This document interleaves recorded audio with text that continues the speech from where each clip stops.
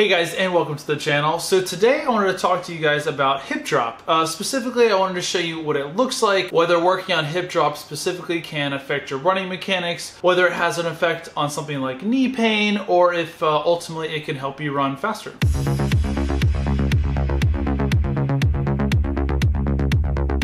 So to start off, I'm gonna show you uh, some videos I took myself a few weeks ago. All right, so this is me obviously. So the first thing I'm gonna do is show you guys some examples of bad hip drop or poor hip control. So I'll show you guys a normal speed clip and then we'll slow it down. And then afterwards, I'll show you kind of how my gait changes or my hip drop changes with different paces and intensities. All right, so this is me running very, very slow and I was just trying to exaggerate how bad hip drop can be. So right, okay, so this is a good example. So right here, you can see that my pelvis or my hips are not level, they're at an angle.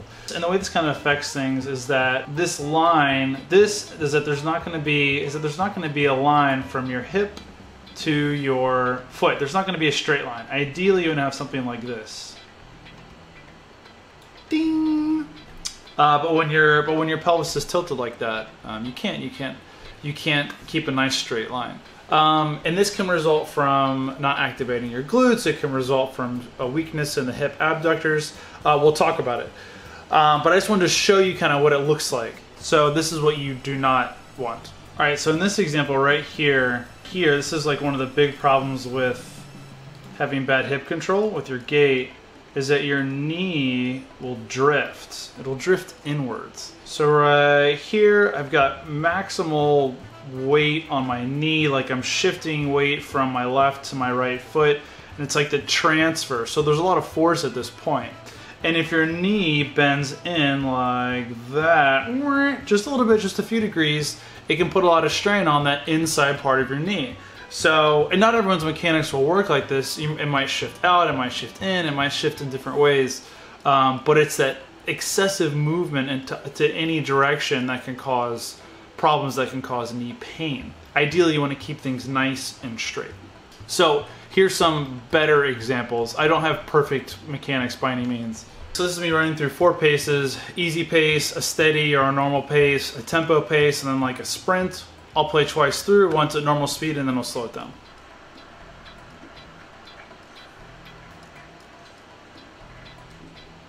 So, more or less straight, like, meh, meh, you know, it's decent, meh, it's okay. This is steady pace.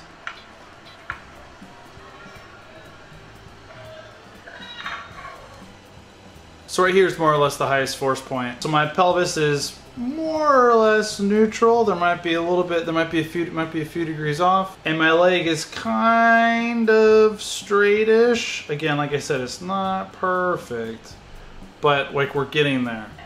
This is a tempo pace.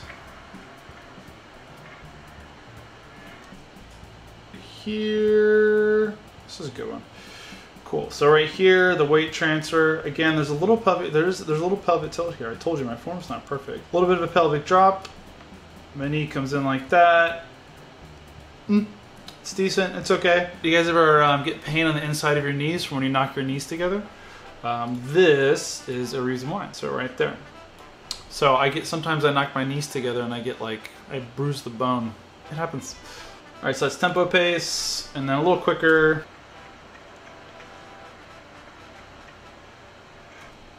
Okay. Uh, this is a decent, decent little, little stride here. Cool. So right there is about where the weight shifts. Sort of almost neutralish pelvis, right? Maybe off by a few degrees. Knee, and then over the foot.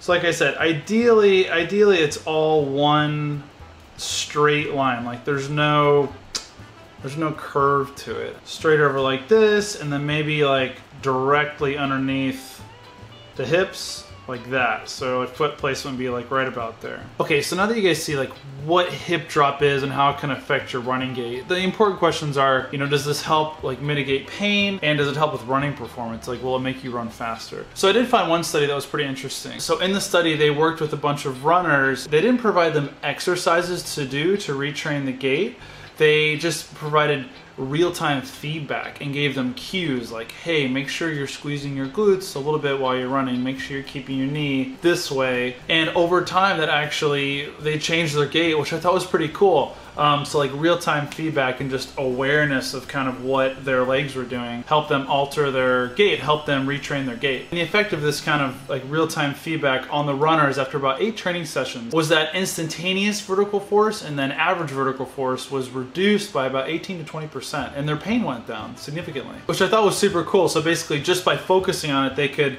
reduce the knee pain they were having and alter their gait, which in turn reduced the force that the knee was kind of getting from the bad mechanics. I found two other studies that were kind of similar. So basically, they provided strengthening exercises to help support proper pelvic alignment, like strengthening the glutes and the, the hip abductors and the external rotators of the hip. And both studies found that the strength improved in the hips after you know a period of time one study found that this strength didn't correlate to improved running efficiency. So basically, even though they were stronger in these supporting muscles of the hips, it didn't affect the running gait, which I thought was interesting. And then I found another study that said it did affect the running gait, like, oh, hey, they got stronger so they were able to keep a better hip alignment. But in that last study, that second study, the, the, subjects were not runners, like they were just healthy people. And they started running, and then they gave them these hip supporting exercises. So, so I don't know how good that sample pool is. In those first two studies, they were actually using runners. So just kind of, you know, take that for what it's worth. So the key takeaway from this video, one, if you're having knee pain from running, just focusing on your mechanics will probably help mitigate that knee pain in the future. It'll probably go away if you can slowly improve your mechanics, basically keeping your knee underneath your hips and keeping your feet underneath your knees. So specific keys to think about, activating your glutes a little bit while you're running, keeping your pelvis neutral, not letting it spill, not letting it spill backwards or forwards. So just kind of squeezing your abs just a little bit, just kind of tucking your pelvis. And then making sure when you land your knee, actively try and keep your knees out a little bit, like over top of your feet. Ideally it should be hips, knees, feet. But there's gonna be a lot of factors that influence your gait and your running economy. So just just be patient. Just maybe try and think about little parts of it each time you go out running. Just think of it as like gradual improvements. So that's pain like in your knee. Will it get you to run faster? Probably. It's really hard to say like how this specific stuff will affect your running economy. So many factors go into that. It makes sense that when you're running, if there's no wasted or excessive motion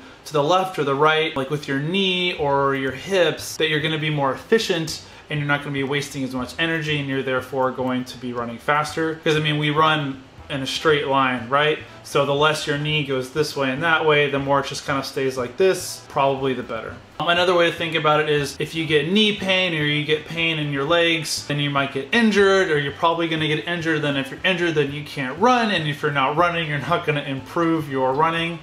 So that's one way to think about it, right? So working on something like this a little bit actively and then hopefully passively in the future will hopefully keep you running for a long period of time. I'm gonna link a video below about crossover gait, which is kind of what I was showing you. The video is really good. There's, it's a three-part series, but it gives you some really good mental cues on while you're running, things you can kind of think about and things you can do maybe before you start running to help keep you in the frame that you wanna kind of keep things in a nice a nice line as you're running. So I'll link that below. Go check it out. One last thing I want to say: don't go too crazy about this stuff uh, when you're out there running. You saw my form; it's not perfect. I don't have perfect pelvic alignment. You know, my knee drifts a little bit, and you know, I but I can put in like 100 miles a week, and I don't get pain. I don't have any injuries. Pursuing something like perfect form, I think, is kind of futile because I don't think you can ever get perfect form. But then also, everyone's body will kind of find a way that works for them, if that makes sense. Like when you're running, you're moving your body. The training adaptation is that your body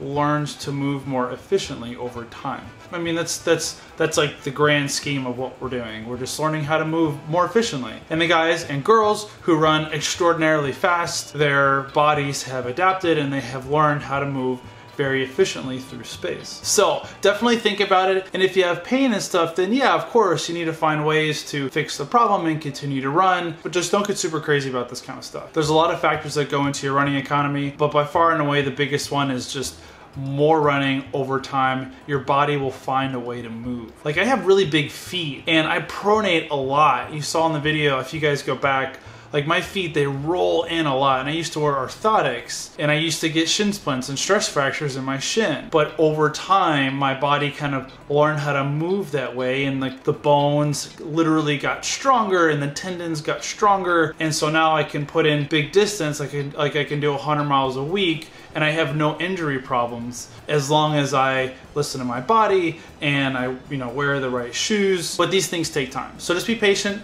Hip drop and mechanics are things that you should work on a little bit here and there. Pay attention to it over time. You know, you slowly increase your intensity, your distance, your volume over years, right? And your body will kind of find its way. So that's all. Just wanted to say that. But yeah, thank you guys so much for watching today. I appreciate it. If you dig this video, if you like the mechanics and the videos with like the different angles and stuff, or me like pulling up the studies, let me know in the comments. Um, you know, like the video, upvote the video, like the video, subscribe. Tell your kids, tell your wife, tell your mom, tell everybody. Share it. I would love that. I appreciate it. And uh, thank you guys for supporting the channel. And uh, I will see you guys tomorrow, okay? Bye.